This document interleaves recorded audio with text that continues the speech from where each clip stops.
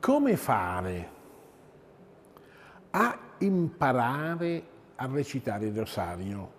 È un po' la sintesi di una lunga email che ci è giunta in cui eh, si pone proprio questo quesito, si, si, esprime il desiderio di imparare questa preghiera di cui, come dire, eh, si conosce semplicemente l'esistenza e forse anche recitando da tanto tempo questa persona il rosario non gode appieno della sua profondità.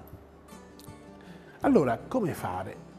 Certo, Padre Pio recitava, pregava con il rosario, ma non meccanicamente, perché lui in ogni mistero, in ogni Ave Maria riviveva il mistero di Cristo e riviveva il mistero dell'uomo, portava con sé la bellezza e la gioia del mistero di Cristo, ma anche le attese, le speranze e le gioie, come dice il Concilio Vaticano II, nella Gaudium et Spes, degli uomini del suo tempo.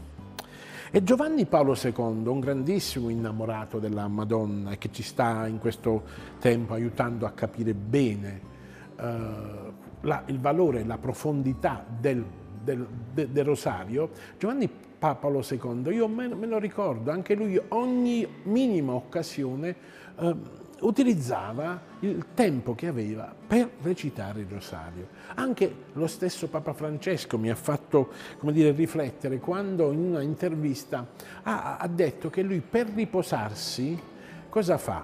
Interrompe il lavoro e recita una parte del rosario, un mistero, due misteri. No, e questo è bello perché fa sentire Maria presente nella tua vita. E non è un caso che Giovanni Paolo II, autore dell'esortazione apostolica sul culto della Beata Vergine Maria, dice che il rosario è una preghiera che è lode e che è una implorazione continua a Maria Santissima perché interceda per noi, poveri peccatori, in ogni istante della nostra giornata, fino all'ora della nostra morte. Si sente in queste parole l'eco dell'Ave Maria, ma è bello quello che ci sta dicendo Giovanni Paolo II, cioè io penso che quando recito il rosario, Maria è lì con me, parla con il figlio di me, di quello che ho nel cuore, intercede con il figlio mi porta al figlio con tutte le mie bellezze, ma anche con tutte le mie miserie, le mie fragilità i miei peccati. E questo è bellissimo.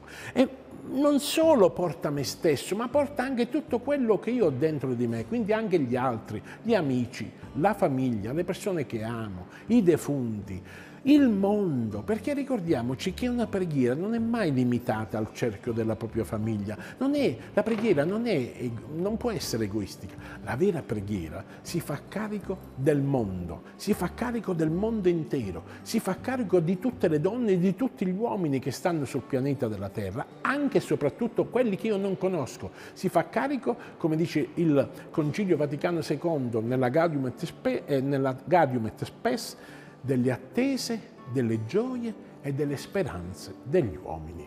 Noi ci vediamo domani. Padre Pio TV, dritto al cuore. Ciao a tutti!